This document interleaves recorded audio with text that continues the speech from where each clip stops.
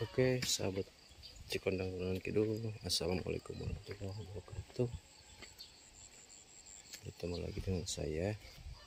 Di video kali ini saya akan update uh, perkembangan terbaru Jalan Paras Tengah Desa Cikondang, Kabupaten Cisompet, Kabupaten Garut.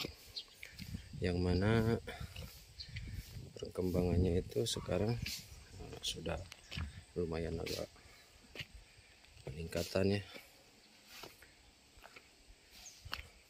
Dan sekarang sudah masuk ke tahap pengecoran.